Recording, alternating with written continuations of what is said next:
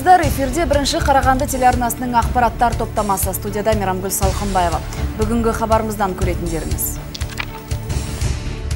Қарағандыда ата-анасы жолда тастап кеткен бала пойыз астына түсіп мерт бола жаздады.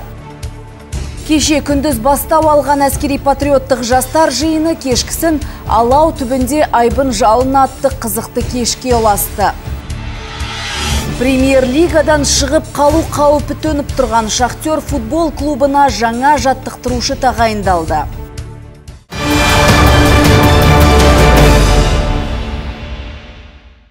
Қарағандыда ата-анасы жолда тастап кеткен бала пойыз астына түсіп мерт бола жаздады.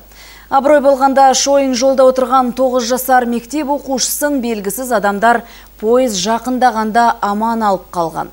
Баланы қауіпті жерге тастап кеткен жалғыз ананы қазір қамқоршылық және қорғаншылық бөлімі есепке алумен ғана шектеліп отыр. Ты плачешь? Тебя обидел кто-то? Не бойся меня, смотри, вот возле тебя тут оса летает, сейчас она тебя укусит. Күні кеше болған бұл оқиға көптің көңілін күпті етті. 9 жасар ұлын өлім мен өмірдің арасында тастап кеткен анасы демалуға аттанған екен. Бейне жазбадағы мына адамдар санаулы секундқа кешіккенде темір жолдың үстінде еңіреп отырған Александр пойыз басып мерт болар еді. Бұны жағдайды көзбен көргендер де растап отыр әйел екі баласымен бізге демалуға келді. бірақ жылаған бір ұлын анасы жолда тастап кетті. темір жолдың үстінде отырған баланы екі қыз пойыз тура жақындағанда көтеріп алған. Ала жалдан аман қалған баланың анасы өзіне шаң жуытпайды бар кінәм ұлымның ерке мінезін көтере алмағанымда дейді. Бұрын соңды балаларды жалғыз қалдырмадым деп ант су ішкен әйел қос бірдей ұлына қолда көтермегенін айтады. Кешелі бері полиция қызметкерлеріне түсініктеме берумен әлек әйел әлеуметтік желіге видео жүктегендердің сөзі жалған деп отыр у ребенка началась истерика около магазина. Когда Бала демалуға бара жатқанда жылап, көліктің есігін сындыра бастады. Мен оны көліктен күштеп алып шығып, заттарымды кіргізуге кетіп қалдым. Инстаграм парақшасында жазылғаным бәрі өтірік. Мен балаларға ешқашан қол жұмсаған емеспін. Оқиған әлеуметтік желілерден білген қамқоршылық және қорғаншылық бөлімінің мамандары дауға қалған отбасын бақылауға алатын болды. Екінші сыныпта аяқтаған Александр бұдан былай мектепшілік есепте тұрады екен. Анасының балаларды осындай жағдайда қалдыруына байланысты анасын есепке алып, у него неде ұстаймыз, есепте ұстаймыз деп ойлаймын. Және тек қана Теміртау қалалық білім бөлімі емес, мектептің соцпедагог бар мектепте әлеуметтік педагог және сынып жетекшісі қадағалап енді болашақта неге қадағалап ұстайтын боламыз Білім бөлімінің мамандары дауға қалған Александр Куличковты анасымен бірге жарты жыл бойы қадағалауда ұстайды. Егер осы уақыт ішінде отбасында тұрмыстық жанжал байқалмаса, есептен алынатын болады. Ал кері жағдайда Ирина Куличкова тағы бір жылға бақылауға алынып, немесе ата-аналық құқығынан да айырылуы мүмкін. Мейрамгүл Салқынбаева, Жаслан Мақұлбеков, Дастан Шанин, бірінші Қарағанды телеарнасы. Қарағанды қаласының октябрь ауданына жаңа әкім тағайындалды. Басшылық қызметке Кожухов Мейрам Мұратұлы келді. Мейрам Мұратұлы 1972 жылы Саран қаласында дүние келген. Екі жоғарғы білімі бар. 1992 жылдың қыркүйегінен 1994 жылдың қантар айы аралығында МК Люкс жауапкершілігі шектеулі серіктестігінің атқарушы директоры болды. Бұдан кейін бірнеше жыл кәсіпкерлікпен айналысты. 2001 жылдан Саран қаласының мәдениет жастар саясаты және спорт туризм бөлімінің бас маманы болып қызмет атқарды. 2005-2010 жылдар аралығында аралығында Ақтас кентінің әкімі лауазымында болды. Жаңа қызметке тағайындалғанға дейін Саран қаласы әкімінің тұрғын үй коммуналдық шаруашылығы көлік және байланыс бойынша орынбасары болып жұмыс істеді.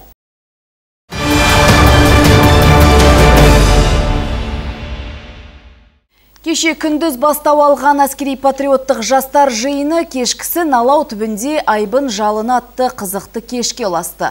Бұл күні менің роботым әскериленген робототехника байқауы тыс қалмады. Жас сарбаздар алдағы төрт күн ішінде өздерінің дене машықтарын, әскери дағдыларын, интеллектуалдық ой өрістерін, білімдерін көрсетіп, бекітілген бағдарламаға сай сынға түсетін болады. Легкой работы именно этот робот может эти функции воспроизводить. Как в опасном Алдымен менің роботым атты әскериленген роботехника байқау өтті. Онда әр команда роботтар мен роботталған жүйенің үлгілерін назарға ұсынды. Конкурс барысында ұшқышсыз ұшу аппараттарына барлаушыларды әскери әуе барлауына арналған квадроткоптерлерді көруге болады. Бүгінде қызмет атқарушы роботтар жан жақты дамып түрлі жұмыстарды атқаруға қауқарлы.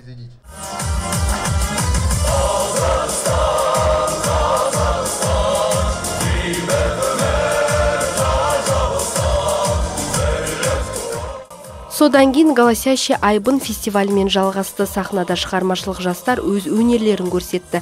Барлық әндер патриоттық тақырыпта шырқалды. Кешке қарай барлығы айбын жалыны алауының маңына жиналды. Ол жерде де жас сарбастар келген қонақтарға гитара мен әскери әндерді орындады. Арнайы шақыртылған жұлдызды меймандар өз репертуарларын шырқап артынша би алаңға айналды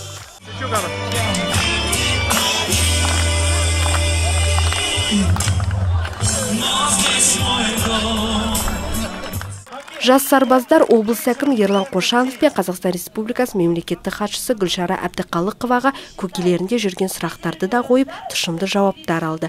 Осылайша әскери патриоттық жастар жиынының бірінші күні от шашумен аяқталды. Барлық жиналған қауым мерекелік көңіл күймен тарқасты. Ұйымдастырушылардың сөзінше мұндай кештер жас сарбаздарға күш рух қайрат береді. Енді алдағы төрт күн ішінде өздерінің дене машықтарын әскери дағдыларын интеллектуалдық ой өрістерін білімдерін көрсетіп бекітілген бағдарламаға сай сынға түсетін болады.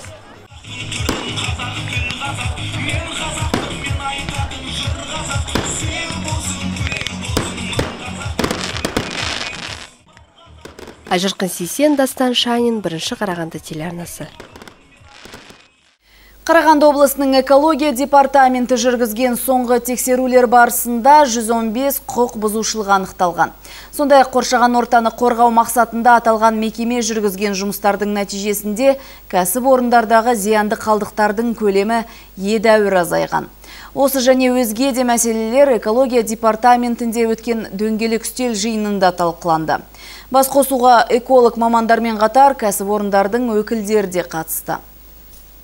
Экология департаменті ағымдағы жылдың бірінші жартыжылдығында 106 тексеру шарасын жүргізген. Нәтижесінде 115 құқық бұзушылық фактісі анықталды. 89 жеке кәсіпорынға 25 миллион теңгеден астам айыппұл салынған. Қарағанды облыстық экология департаменті қызметкерлерінің айтуынша бүгінгі таңда бұл соманың 24 миллион 733 мың теңгесі мемлекет пайдасына өтелген. Біз 2017 жылы 19 мың тонна төмендетілген ірі кәсіпорындарды қалдықтар қалдықтар қазір 2018 жылы министрліктің стратег планы бойынша 894 мың тонна лимит бекітілген. Біз сол лимиттерден аспауымыз керек және сол лимитке жеткізіп ұстауымыз керек қазіргі таңда. Аталған департаментте өткен жиынға эколог мамандармен қатар алпауыт кәсіпорындардың өкілдері де қатысты. Олар өз баяндамаларында экологияны жақсарту мақсатында қандай жұмыстар жасалып жатқанын түсіндірді. Мәселен арселормиттал теміртау компаниясының экология бойынша директоры галина дроздова өндірістік қоқысты азайтуда өзекті мәселелер бар екенін де атап өтті. Напрямую с высокими температурами и... Сіздер түсінесіздер ме? Металлургияда жоғарғы қызу температура мен металдардың тотығу қалыпты үрдіс. Комбинаттың бүкіл шығарылған қоқысының 65 пайызы осындай жағдайда пайда болады. Сіздер талап қойғанмен бұл мәселе түбегейлі өзгерту мүмкін емес. Әрине біз қоқысты азайтуға жұмыс істеп жатырмыз. Дегенмен оған сіздердің де көмектеріңіз қажет.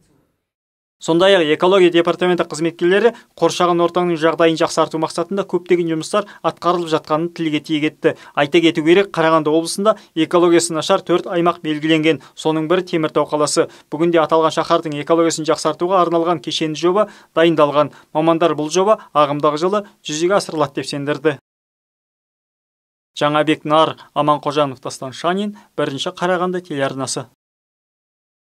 Қызыл Крест халықаралық комитетінің мамандары Қарағандыға келіп дәрігерлерге тренинг өткізді.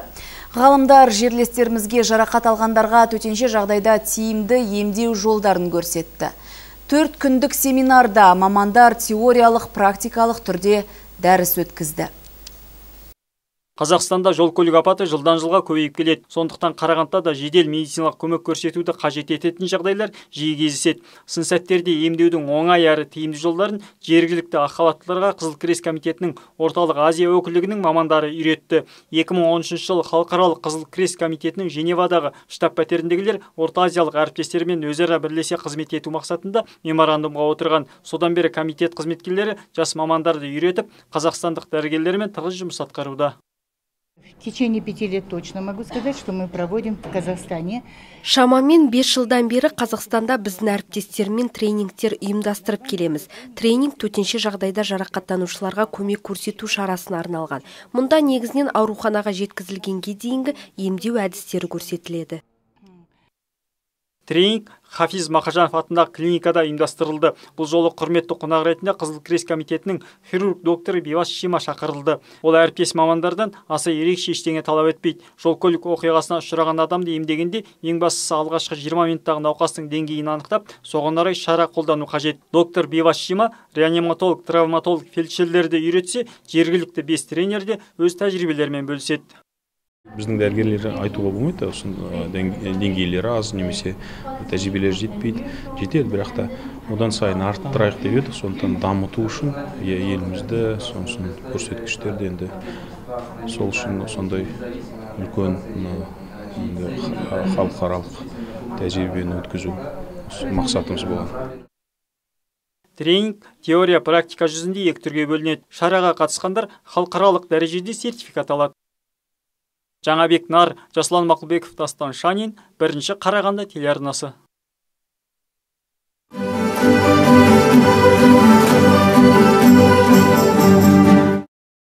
Ертеде қазақ хандығында хан мен ханым болыпты. Олардың үш ханшайым қыздары болыпты. Бір кезде ханшайым қыздарға жауыз сиқыршы инфекция қарғысын салды. Бірақ хан мен ханым таңғажайып вакцина балаларын аурудан құтқаратынын білді. Міне ертең біз әдеттегідей екпе жасатуға барамыз. Қазір ұйықтайтын уақыт келді. Қазақстан республикасы денсаулық сақтау министрлігінің салауатты өмір салтын қалыптастыру проблемаларының ұлттық орталығымен дайындалған.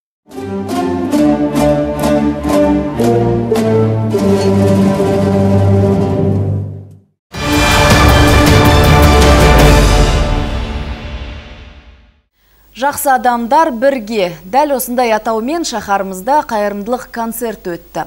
Шара баспанаға мұқтаж болған көп балалы отбасыларға көмектесу мақсатында ұйымдастырылды.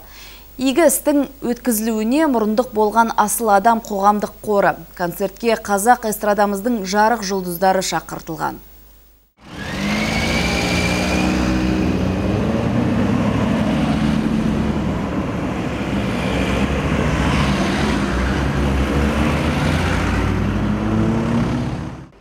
Аталған жобаны қолдау мақсатында алдымен автошеру ұйымдастырылды. Қарағандылық белсенді жастар көшелермен жүріп өтіп, қала тұрғындарына менің атамекенім ұлттық жобасының маңыздылығын түсіндірді. Сонымен қатар қайырымдылық концертке де шақырды.